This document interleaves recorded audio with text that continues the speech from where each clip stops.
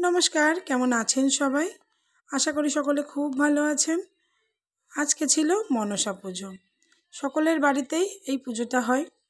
তো সকালবেলা কাজকর্ম সেরে স্নান দান করে লেগে পড়লাম মনসা পুজোর যোগাযান্তি করতে। তো আমাদের মধ্যে সবার এক রকমের নিয়ম থাকে না পুজোর।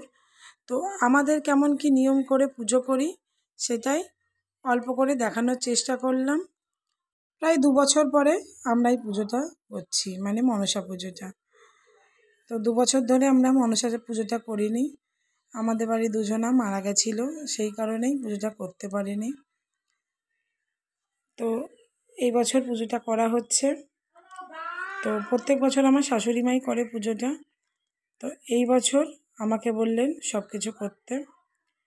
তো আমি, উনি আমাকে দেখিয়ে দেখিয়ে দিলেন, আমি সেইভাবে সব কিছু গুছিয়ে রেডি করে নিলাম। তো দেখো, আমার প্রায় সব কিছু গোছানো গাছানো রেডি হয়ে গেছে। পুজোটা অঞ্জলিটা আমার শাশুড়িই দেবে। আমি সব কিছু এমনি গুছিয়ে গাছিয়ে দিলাম।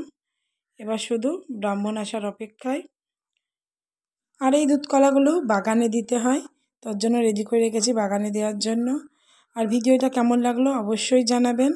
আর এটা হচ্ছে আমাদের গোপাল।